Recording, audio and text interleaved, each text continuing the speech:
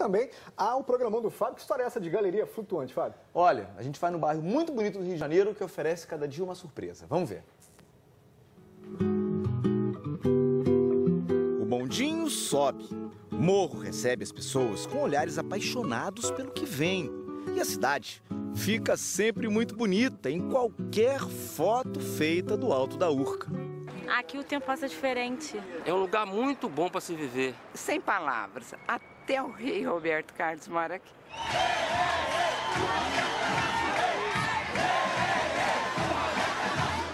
É, o rei escolheu muito bem onde morar. Vira Urca já é um programão.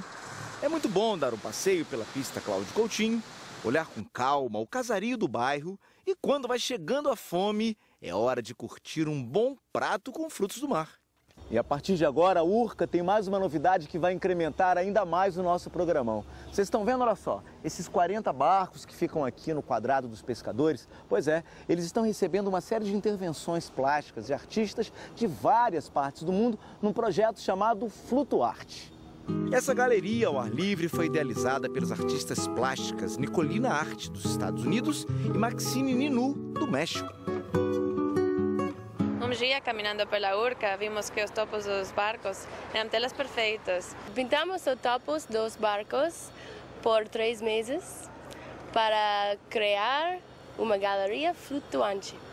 30 artistas de países como Austrália, Israel, Canadá, Colômbia foram convidados para dar uma nova identidade às embarcações. O Brasil está presente com 18 artistas. Camila Malheiros, de Niterói, encheu de cores o barco Giovana Mar. A ideia do projeto é que a gente converse com o pescador e ele vai dizendo pra gente o que ele quer e a partir daí eu vou desenhando e vou fazendo exatamente o que ele quer e também é, vou colocando um pouco da minha arte. É, parece que o dono do barco, seu Luiz, gostou, hein? Eu pedi para ela pintar uma baleia, porque eu gosto muito de baleia e minha neta também, e ficou muito bem pintado e muito bonito. Nos finais de semana, o ideal é visitar o projeto depois das quatro da tarde, quando todos os barcos já voltaram da pesca.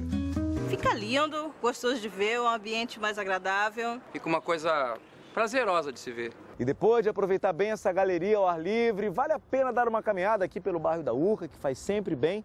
E para quem gosta de fotografia, o programão continua. O Ateliê da Imagem, que fica na Avenida Pasteur 453, está com a exposição Apropriações de Marco Antônio Portela. De uma forma bem humorada, ele consegue dar um outro sentido às imagens simples do dia a dia. Hoje em dia todo mundo faz foto. Celular, máquina digital, então tem uma produção excessiva de imagens. O que eu faço é isso, pegar essas fotos que já estão no mundo e produzo o meu trabalho.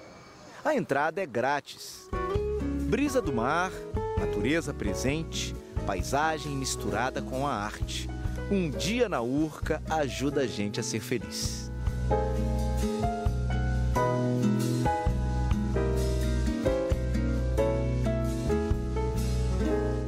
Os pescadores é que ficaram felizes, né, Fábio? E quem for lá vai ficar feliz também, que é muito bacana, Vandrei. Muito legal mesmo.